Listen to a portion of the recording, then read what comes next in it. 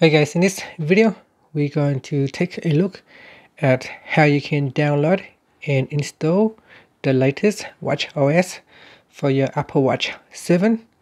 So first, let's go back to your uh, clock face by pressing on the crown button. Once you are back at the watch face, press on the crown button to go into the app screen. And in here, tap on the settings button. Next, tap on General and then tap on Software Update. Next, go down and tap on Download and Install.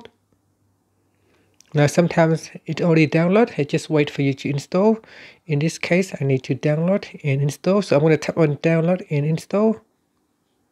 And it is uh, now downloading the Watch OS 8.4.1 and we're just going to wait for it to finish uh, download. You can scroll down and you can view uh, some information about this uh, update. So, so to install the update make sure your watch is fully charged or at least uh, connected to a charger and it is uh, connected to Wi-Fi.